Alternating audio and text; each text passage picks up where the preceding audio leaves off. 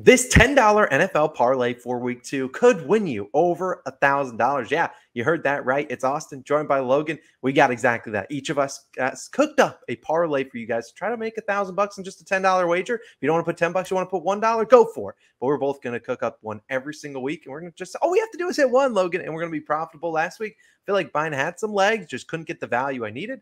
But hey, it was just week one. We're dialing back in for week two. Let's dive into them. But first, if you're new, do us a favor, hit that subscribe button, drop a like too. We are also going to do our other videos. We're putting our actual units on the line. We have an NFL player props video posted right before this one, and our favorite spread picks video is posted on Friday. Go check that out if you want to. Put one unit on each of those picks. And before I dive into this one, I do want to talk about DraftKings, which is where both of these uh, parlays are going to be placed. They actually have a great offer right now. You get $200 in bonus bets plus up to $150 in no sweat bets, which is basically on the NFL. If you bet something, They'll give you back your money if you do end up losing. Just check it out. All the details at the top of the description. But we're on DraftKings. Like I said, the best odds are there for these parlays. FanDuel, we did them last week, but FanDuel's odds are just absolutely cooked for some of these NFL props. Let's dive into mine. I'm going to start with my first leg, and I really, really like this one. And I know a lot of guys are going to be on him. His name's Saquon Barkley. I like him for 100 plus rushing yards, currently plus 320.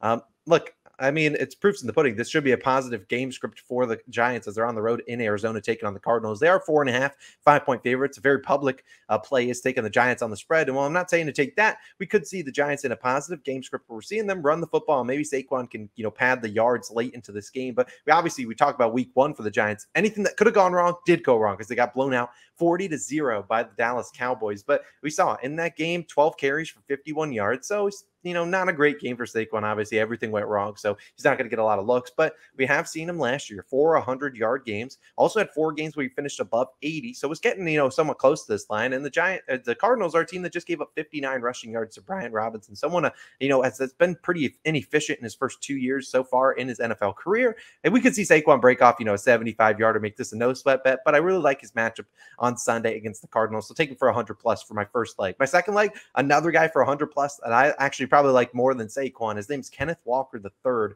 100 plus rushing yards. Factory in plus 475 on this. Look, I almost want to just play this on on its own because I think it's that good of a play. We saw basically we just talked about the Giants. Anything that could have gone wrong did go wrong in Week One. Yeah, talk about the Seahawks. Same exact thing. I mean, this is a team that got smoked by the Rams, gave up nearly 40 minutes of time of possession, and you saw in that game Walker still had 12 carries for 64 yards. A guy like Kenneth Walker, I love a prop like this because Kenneth Walker has that speed to take away, take it something the distance. He breaks one tackle, he could be gone for 75, 80 yards. And we saw that all of his rookie season. And he's going to be the lead back once again in the Seahawks offense. So, look, I really like this one. I think this is a decent spot. We saw last week, or last week, the Chiefs obviously took on the Lions, who the Seahawks will take on this weekend. The Lions did stop the run decently, did give up, you know, 90, 90 yards on the ground. And the Chiefs don't have a running back like Kenneth Walker the third. They just don't have a guy that, in my opinion, can go out there, break a tackle, and just house it. They don't have that guy with that elite elite speed. I think a guy like Kenneth Walker could get it done. We saw last year when these two teams played in week four, we saw Rashad Penny, who is now the now Philadelphia Eagle. He had 151 rushing yards. The Seahawks had 235 as a team. I could see Kenneth Walker getting it done pretty easily on Sunday. And then my two last legs, both 50 plus, one rushing, one receiving. We're going to start with Lamar Jackson for 50 plus rushing yards, is plus 120. I don't mind his regular line. If you watch the player prop video, you would already know we're on his player prop. His over in rushing yards is one of the plays there. So if you want to go check out our other props, the video will be linked at the top of the description. But we talk about Lamar Jackson. We talk about the Ravens now down J.K. Dobbins. Shame that he tore his Achilles, I believe, last week. But they're going to lean on Lamar Jackson even more on the ground game. Gus Edwards, Justice Hill, Melvin Gordon are the three running backs. Expecting that to lean on Lamar. And also we think about the who they're going to take on the Bengals, a team that, if you were talking about me, basically anything that could have gone wrong did go wrong last week for the Bengals, as well as they got smoked by the Browns. We've seen the Bengals and Joe Burrow historically over the last few couple seasons show up against the Baltimore Ravens defense, who's already dealing with some injuries. We could see the Bengals put on a show on the offensive side and see the, the Ravens having to play from behind. And maybe we see Lamar Jackson rushing, scrambling. We know how talented he is. I don't need to tell you, Lamar Jackson is one of the best rushing quarterbacks in NFL history. But at the end of the day, we've seen his history against the Bengals. It speaks for itself. Look at his last seven games. 58, 88, 97, 3, 65, 132, and 119 rushing yards. Absolutely been smoking this line. You go up to 75 plus, you're feeling like playing with fire. Rather just trust him for 50 plus. That's something Lamar Jackson could do on one carry. I'm going to roll with him. And then my fourth and final leg to wrap it up, I'll put the whole parlay up on the screen. It's going to be DJ Moore of the Chicago Bears, 50 plus receiving yards last week things didn't go great. Great. Two receptions for 25 yards and only two targets. Justin Fields talked about after the game. Look, I got to give my guys like DJ Moore, who they traded for this offseason, a chance to go get out, go out there and get the ball. And I think he'll give him a couple chances here. We'll see some screenplays, which we saw him do well in the preseason. I think DJ Moore can get his 50 plus receiving yards, his plus 115. I don't mind his regular over. I won't be on it on an individual side, but I think DJ Moore has a decent day on Sunday. We've seen him play well against the Bucks, a team he has a lot of history against. In fact, you look at his last eight straight games, he's had 50 plus receiving yards versus the Buccaneers. Obviously on a different team, not in Carolina anymore, but he obviously has their number. I hope that continues on Sunday. So you see my whole parlay, $10 on it wins more than a thousand. So you're getting a little uh, extra hundred bucks, but I really like this one. I think it's got a great chance. I think a couple of these legs are hitting. If we get a little bit of luck, could go four for four, turn $10 into over 1100. That's my favorite play of the week. But Logan, you got another one cooked up that I absolutely love. Which one are who who are you going with on Sunday? Yeah, I, I, I love your parlay, Austin. I think yours has has a good chance to cash as well as mine. I, I've got one that pays out a thousand eighty seven. Yes, we're getting plus ten thousand seven seven five on on this one. Let's start with the first leg of this parlay. It's going to be Christian Kirk of the Jaguars, 75 plus receiving yards, plus 380 individually on that leg. I do like that as a value leg as well look at we look at this Kansas City secondary. They gave up 253 passing yards last week. Definitely think uh, they're vulnerable there. And their last regular season matchup, you look back to 2022.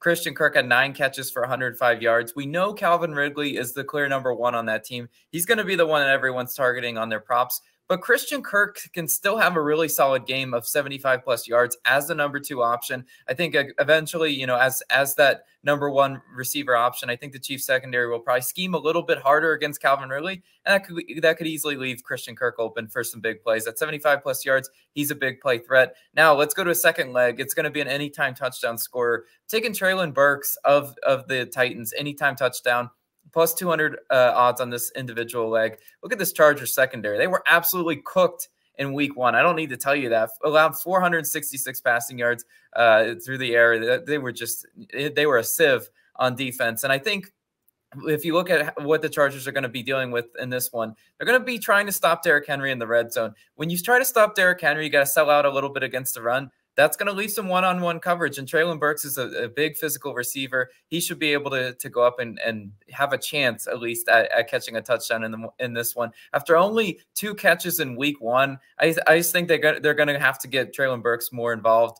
in, in, this Chargers er, against this Chargers defense, especially when uh, when they try to sell out against Derrick Henry. I think Derrick Henry is the clear clear cut offensive option. But that, that doesn't leave, uh, you know, that, that still leaves enough touchdowns on the board for other guys like Treylon Burks. Now let's go to the third uh, leg of this parlay.